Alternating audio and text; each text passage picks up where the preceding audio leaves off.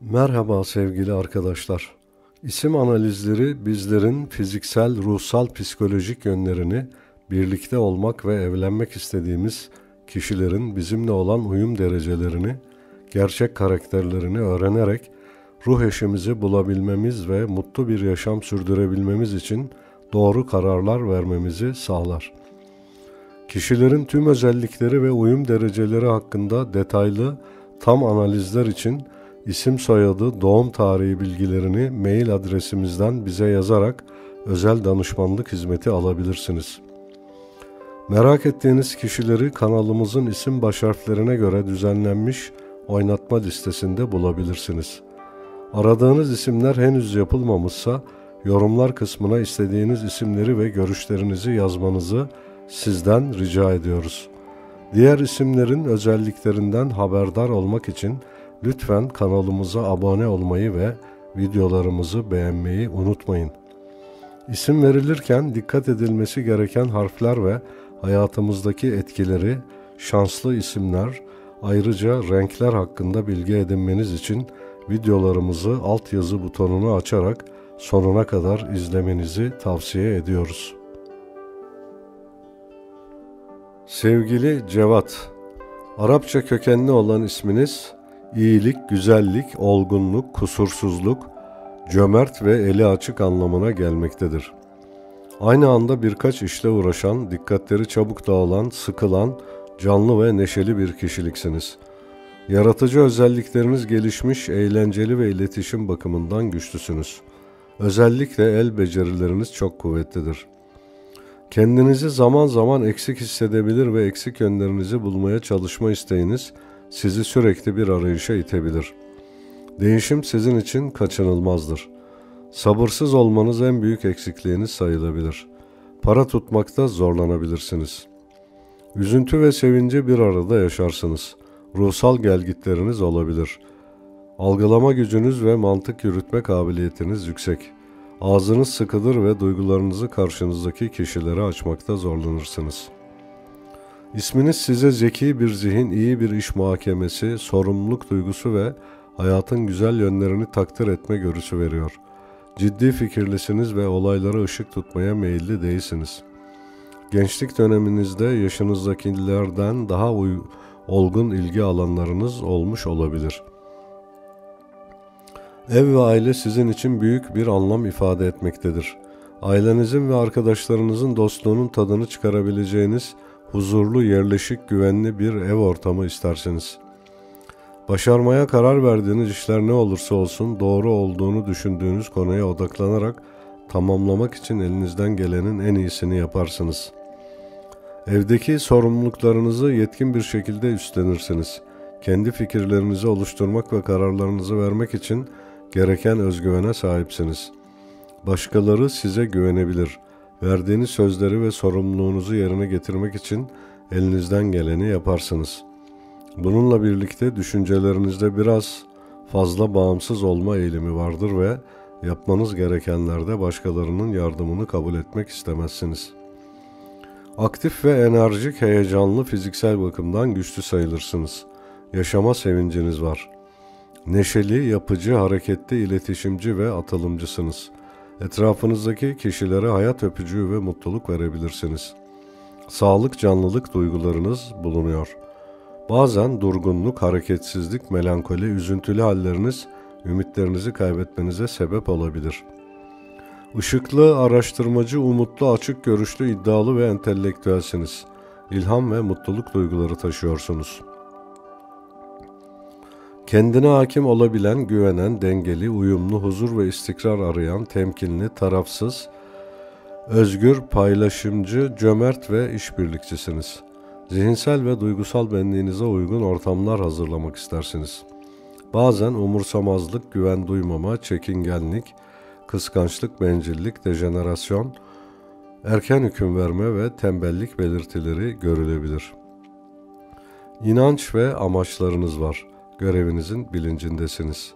Güzelliğin, sevginin ve barışın arayışı içerisindesiniz. S harfi ile başlayan isimler, proje üreten, para kazanmak konusunda özel yetenekli ve rızkı açık kişilerdir. mimarlık, mühendislik mesleklerinde başarılı olurlar. Sakıp ve Serdar isimleri ise zenginliğin sembolü olarak görülüyor. M ve N harfi ile başlayan isimler. Parasal konuda ticaret yapanlarda satış pazarlamada başarılı olabilir. P harfi ile başlayan isimler ya da isminin içerisinde olanlar tüm meslek dallarında başarıyı yakalayabilirler. Para enerjisi getiren isimler M, S ve C harfleridir. İş ve kariyerde başarı getiren isimler K, F, S, T, M, U, Z, A ve O harfleriyle başlayan isimlerdir. Sakıp, Tarkan, Tamer, Kamelya, Kanat, Faruk, Namık gibi. U, A, O harfi olan isimler de para enerjisini kendilerine çekecek güce sahip olurlar. Acun, Serdar, Cansu, Mesut, Sakıp, Umur, Ulus, Sude, Sultan, Sumru gibi. Şanslı isimler. İçerisinde N, I, R harfleri bulunan isimlerdir. Aşk enerjisi getiren isimler. U, A, S, C, F, L harfleridir. İsminin sonu U veya A harfiyle biterse aşk enerjisini çekmek daha etkili olur. Azra, Ahu, Buse, Banu, Mustafa, Musa, Saba, Sefa, Sumru, Kumru, Ebru gibi. G, M, K harflerini taşıyan isimler yollarına tek başına devam etmek zorundadırlar. Asla ortak kabul etmemelidirler. Yapacakları ve kuracakları işte ortak ve yardımcı alırlarsa işleri başlamadan biter. Eğer dik durmazlarsa eğilirler. Sabırlı olmaları ve gülümsememeleri gerekir. Ortak işler onları batırır. M harfinin sırrı karşısındaki için hayatın dönüm noktası olmasıdır. G, M, K olan isimleri herkes çalıştırmak ister, kullanmaya çalışır ama para vermek istemezler. Samimi olmamaları, az konuşmaları, sır vermemeleri ve en önemlisi dert yanmamaları gerekir. Çünkü bu davranışları onların enerjilerini tüketir. Enerjilerini emen kişilerden uzak durmaları gerekir.'' Bebeğinize isim verirken dikkat etmeniz gereken harfler. A harfi iki taneden fazla olmamalı. B harfi koyulabilir, sezgileri güçlü olur. C harfi şart değil. D harfi olabilir, hırsı getirir. F harfi uygundur. G harfi bir tane iyi olur. H harfi olmasa da olur. J harfi çok uygun değil. K harfi en az bir tane çok iyi olur. L harfi olabilir. M harfi bir adet olması iyi olur. Ama sağ veya solunda A harfi mutlaka olsun. N harfi fena değil. O harfi olabilir. P harfi olabilir. S harfi olursa iyi olur. T harfi bir tane olabilir. U harfi bir taneyi geçmemek kaydıyla olabilir.'' V harfi çok elzem değil. Y harfi olmasa daha iyi olur. Z harfi bir tane olursa iyi olur.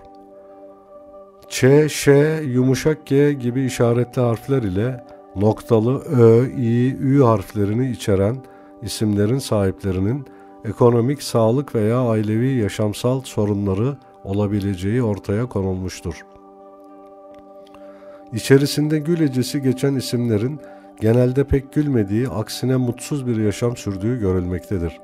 Bu bakımdan çocuklara isim koyulurken hangi ırka mensupsanız o ırka ait isimlerin verilmesi ve içinde noktalı veya işaretli harflerin bulunmaması gerekmektedir.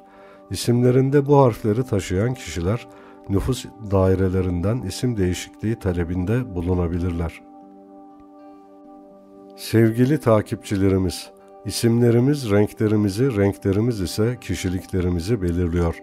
Bu bakımdan siyah ve gri renk olmadığı, ışıksızlığı, karanlığı, karamsarlığı, depresyonu, tehlikeyi, tedirginliği, kini, nefreti, kaosu, belirsizliği, ölümü, matemi temsil ettiği ve özellikle yazın güneş ışınlarını üzerine çekerek vücut ısısını arttırıp enerjiyi çabuk bitirdiğinden renklerin enerjilerinden faydalanarak daha enerjik, renkli, pozitif bir yaşam sürdürebilmek için bu lekeleri giysilerinizde kullanmanızı tavsiye etmiyoruz. Siyah yerine kırmızı ve mavi renklerin birleşiminden oluşan çivit mavi ve lacivert renkleri kullanmanızı öneriyoruz. Yazın serin kalmak için giysilerinizde mavi, lacivert, mor, yeşil, turkuaz renkleri ve güneş ışınlarının etkisinde kalmamak için saflığı, temizliği, berraklığı temsil eden, aynı zamanda reflektör vazifesi görerek ışığı geri yansıtan beyazı, kışın ise sıcak tutması, canlılık ve enerji vermesi için kırmızı, nar çiçeği, bordo, turuncu, sarı ve beş tonları kullanmanızı tavsiye ediyoruz. Giysilerinizde renk uyumunu doğru yapılandırabilmek için kırmızı ve nar çiçeği rengi turkuaz ve yeşil ile, turuncu rengi mavi ve çivit mavi ile, sarı ve beş renkleri mor renk tonları ile kombinasyon yaparak beyazı ise özellikle yazın her renk ile birlikte kullanabilirsiniz. Işığınızın ve renklerinizin bol olması dileğiyle hoşçakalın.